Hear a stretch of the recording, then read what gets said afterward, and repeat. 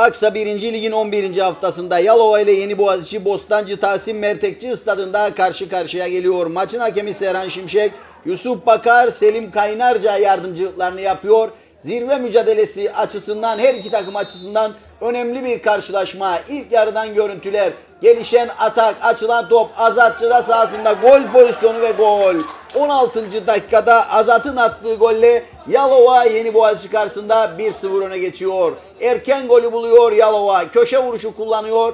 Seken top, kafa vuruşu top ağlara gidiyor. 19. dakikada bu kez Hasip top ağlara gönderiyor ve skoru 2-0'a taşıyor. Kaptan atıyor, Yalova 2-0 öne geçiyor. Tecrübeli futbolcular attığı golle Yalova'yı 2-0 öne geçiriyor. Gelişen atak Azat'la devam edecek.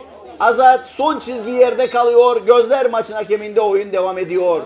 Bir başka atak ilk yarıda etkili Yalova takımı ama maçın hakemi Serhan Şimşek'in çalan düdüğüyle 45 dakikayı Yalova 2-0 önde kapatıyor. İkinci yarıdan görüntüler izliyorsunuz. Gelişen atak Cevdet vuruşu top yandan dışarıya gidiyor. Bir başka atak Savunma arkasında yine Cevdet topla buluşuyor. İçeriye bırakıyor. Savunmaya çarpıyor. Top dışarıya gidiyor. Köşe vuruşu kullanıyor Yeni Boğaziçi. Çağrı'nın kava vuruşunda top ağlara gidiyor. 55.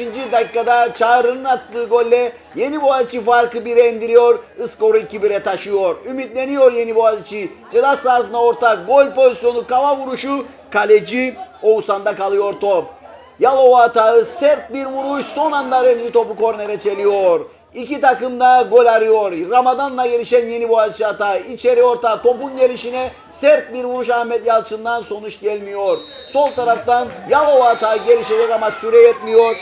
Serhan Şimşek'in çalan düdüğüyle 90 dakika tamamlanıyor ve bu zorlu mücadeleyi Yalova Yeni Boğaziçi karşısında 2-1 kazanarak yoluna devam ederken maç sonrasında Yeni Boğaziçi savunma oyuncusu Ali Özay Çelik'in itirazları Serhan Şimşek sarı kart gösteriyor. Yeni Boğaziçi futbolcularının itirazı var maçın hakemi Serhan Şimşek'e ama itiraz sonrasında Ali sarı kart görüyor. Bu zorlu mücadele 2-1 Yalova üstünlüğünde tamamlandı ama Remzi'nin taraftarlarla diyaloğu var. Yalova taraftarları ile Yeni Boğaziçi kalecisi Remzi arasında diyalog saha içerisinde maçın hakemi Serhan Şimşek ve soyunma odasına gidiyor. Maçın sonucu Yalova 2 Yeni Boğaziçi 1.